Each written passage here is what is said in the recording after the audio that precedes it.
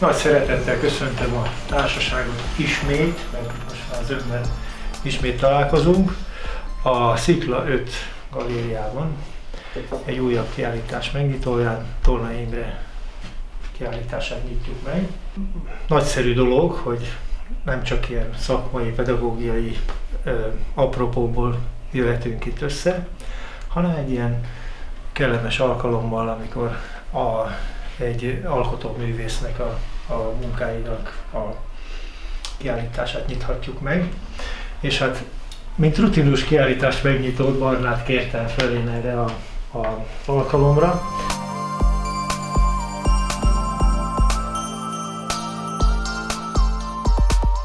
Örömmel nyitom egyébként meg ezeket a kiállításokat, mert mindig olyan művészeket hívsz, akikhez szívesen fűzök egy-két keresetlen gondolatot.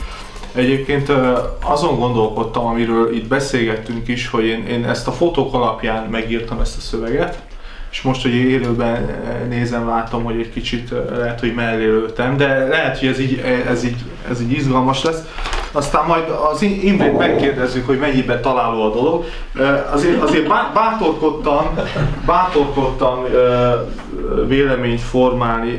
Egyrészt a, a szöveg elején egy kicsit a, az Imrének az alkotói útját próbálom érzékeltetni egy-két ilyen természeti képpel, aztán a második részében pedig megpróbáltam konkrétan a, a, a művekről egy kis ö, ö, elemzést itt rögzíteni, de, de lehet, hogy inkább ezek arról szólnak, hogy bennem milyen kép alakult ki a, a munkák során.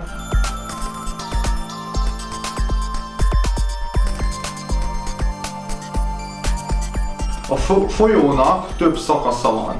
A forrás a maga tisztaságában és törékenységében arra hivatott, hogy több hasonló érből végül egy domináns, határozott peremű célirányos, célirányos folyammá erősödjön. A lendületben lévő víznek nincs ideje körbenézni, gazdag hordaléka is arra kötelezi, minél előbb elérje tengerét.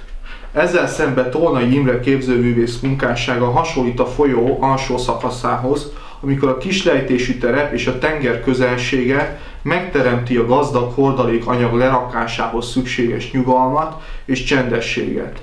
Nem átzúdulni, hanem átitatni akar. Nem a hossza, hanem a szélessége szembetűnő. Nem a témák, témák válogatása, a stílusok kipakolása, az ötletek vibrálása, hanem a megtalált, főszólam variálása, csiszolása és hangszerelése a fontos. A folyó alsó szakaszában az összegyűjtött anyagokból kisebb szigeteket és dűnőket épít. Ezek sem időben, sem térben nem állnak távol, sőt, eléggé hasonlítanak is egymásra, de mégis külön-külön élnek, miközben ugyanaz a víz nyaldos a partjaikat. Imrének ismerem a, a szakaszait, honlapjáról is, ez elég, elég aktívan dokumentálja a képeit, és ö, bennem ez a kép alakult ki az ő művészi útjáról, vagy alkotó módszeréről. Ezt a képet erre szerettem volna használni.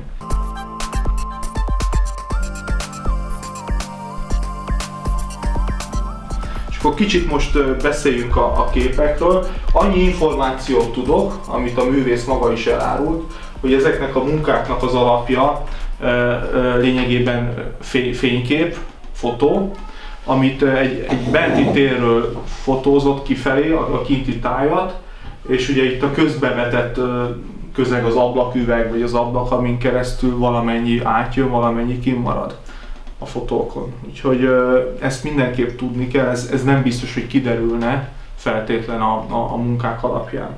A mostani képek alapjai olyan fényképek, ahol a művész bentről kifelé fotózza a tájat egy ablak közbevetésével.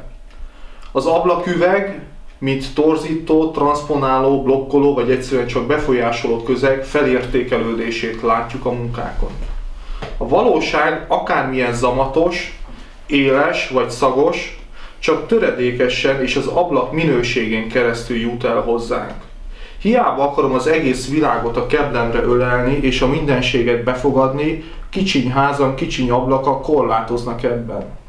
Közben figyelmeztet is, amit mi valóságnak hiszünk, az csak közvetett és elfolyódott optikai képe annak. A rossz életérzés, a keserű igazság, vagy éppen a naív optimizmus, a megismerés fogyatékossága is lehetnek, és korán sem biztos, hogy kint vagyunk már a tavaszi tájban, és az üdezöldeket harapjuk. A valóság megszerzése életünk fő célja, de nem szabad elfelejteni azt, amit a harmadik eget is megjárt Pálapostól mondott, most még csak tükör által homályosan látunk. Tolnai Imre is bentről néz kifelé. Érdekli a táj, de elméláz annak tükörképében is. Sokat jegyzetel és skiccel, de nem, akar, de nem akar mindent elmondani, és nem akar mindenről a beavatottak tudálékosságával fecsegni. Úgy gondolja, ha már eldöntöttük, miről akarunk beszélni, elég a kevés szó is. A tudást nem bizonyítani, mutogatni, hanem használni akarja, és mint ilyen, inkább hasonlít a hitüket megélő zarándokokhoz, mint ahhoz a posztmodern világhoz, ami olyannyira relativizálta és szubjektivizálta a tudást, hogy le is mondott az igazság megismerhetőségének a lehetőségéről. Tolnai művészete, művészete annyiban szakrális, hogy nem mond le a reményről. Tudja, hogy az ablak torzít, de attól még az életzajai beszűrődnek. Műterméből próbálja egy kinti elmosódott arcportréját újra meg újra megfesteni, amit maga sem vesz ki jól. Nehéz megfigyelni, mert mozgásban van. Gyakran változnak a fények, az ablaküveg sem mindig tiszta, és, egyéb, és egyébként sem könnyű karakter. Mármint a modell. De hisz ennek a tőlünk független entitás jelenlétében, aki hol idegenséget, hol meleg közelséget vált ki belőlünk, de mindenképpen centruma és meghatározója életünknek, a mágneses mag mozásával és a centrifugális erő taszításával egyszerre. Ezeket a gondolatokat váltotta ki belőlem ez a sejtelmes, mégis megfogható világ, amit az Imi hozott most. Nekem egy nagy élmény volt, mert, mert elmékedésre késztetett, és minden ilyen megnyitónak azért örülök, mert az egyébként is gyakorolt műélvezést ilyenkor egy ilyen tudatosabb szintre hozhatom. Úgyhogy ha esetleg falsak voltak a gondolatok, akkor korrigáld, de, de bennem egy ilyen értelmezést nyertek ez a kép, ezek a képek, úgyhogy ezen nem megnyitom a kiállítást. Nem tudom, van nektek sziklakertetek innen? Nincsen. Akkor az első követ én hazadnám jó? Mert a szikla 5-ben kiállító művészek kapnak a szikla országból származó követ. Fogad. És ezt azért választottam, mert ezen már vannak bizonyos ilyen biológiai kezdemények, muhák, egyebek, ami, ami Követ vannak egyébként, úgyhogy, úgyhogy ez be, be, bekerül meg kaktuszok is. Oké. Okay.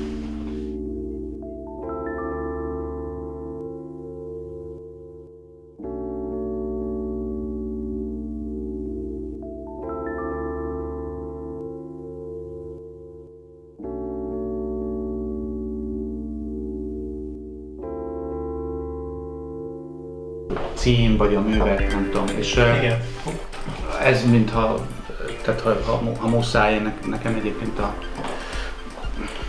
Hát nem szeretem, hogyha valaki dumával próbál képeket kiegészíteni, vagy helyettesíteni, vagy erősíteni, vagy valami, de, de azért nekem régóta, mivel írok is, régtől fontosak a, a címek, vagy a, az, hogy miként jelölünk meg egy képet, vagy egy sorozatot, vagy egy témát. És a, a orvosi szótárban, vagy a lélektanban van egy olyan szó, hogy engram. Ez a, ezt emléknyomnak fordítja a magyar nyelv, de a görög eredeti az ismeretet, tapasztalatot jelent.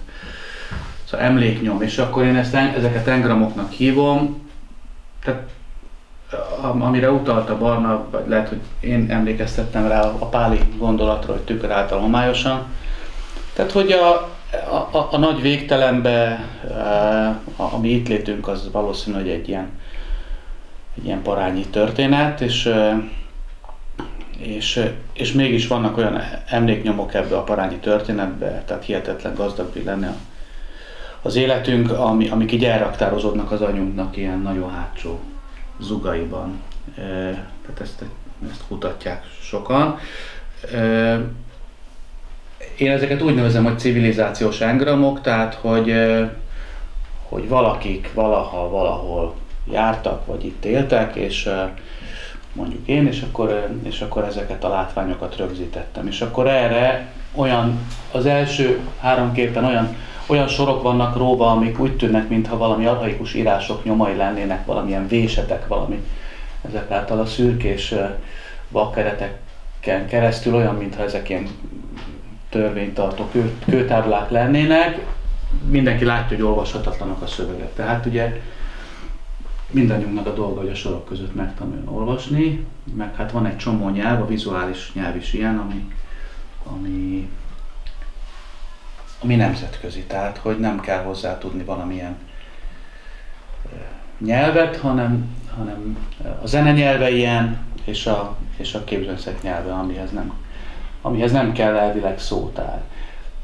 Tehát ilyenek ezek a sorok. A harmadik, ré, harmadik képen ebbe a sorba látjuk azt az anyagot, a méviaszt, a színezett méviaszt, ami hát egyrészt egy ilyen ősi felületképző anyaga a művészetnek, mondjuk, hogyha egy a viasznak, meg a gyertyának, tehát egy csomó üzenetét lehet még így ennek az anyagnak felfejteni, de hát az enkausztikának az anyaga, ugye, itt mondtam, még a többiek ide nem értek, hogy, hogy ezt a hogy ezt a, ezt a méviasszal való további rétegképzést és ilyen egyéb emberi rétegeket, mint házaknak a szerkezete, meg alaprajza, meg ilyesmi, a sorozat többi itt nem lévő darabjaira én rá tehát alkalmaztam és rajzoltam vele, vagy festettem vele ilyen felmelegített méviasszal, ilyen ház és egyéb, egyéb ilyen ar, archéformákat az emberi kultúrából, és hát az utolsó kettőn pedig nincs semmi, csak a, csak a szinte manipulálatlan fotó,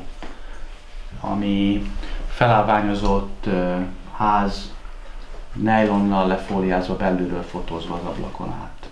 Tehát állványerdő és a, és a nejlonnak a, a koszai, meg a vakolat röccsenése, meg a, meg a gyűlődés.